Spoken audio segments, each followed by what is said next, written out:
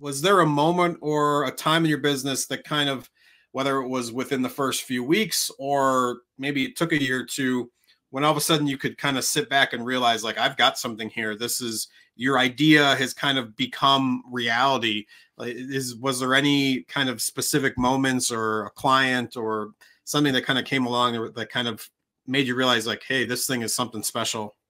Well I think I knew early on, even before I officially started my company, that there was a need to do digital marketing services. I mean, if you pay attention at all, typically people are telling you they need work done, but they've been burned by people or whatever. So there's def- definitely a need out there for people to do legitimate quality work. I feel like I started to feel like there's really something here. Matt, who still works with us, um, when I was able to he had a full time job and he started helping me out part time. And when I was able to to get to a point where I was able to say, okay, quit your full time job. He had a wife and kids. Quit your full time job and come work for me. That's when I really felt like, okay, this is actually a business. Because prior to that, it, it was just me and my wife, and I knew that I could generate enough income to take care of us.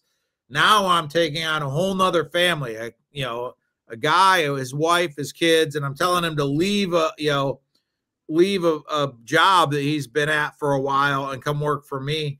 That's when I think it really hit home. Like this is actually a company, and there's it's going to be more than just me.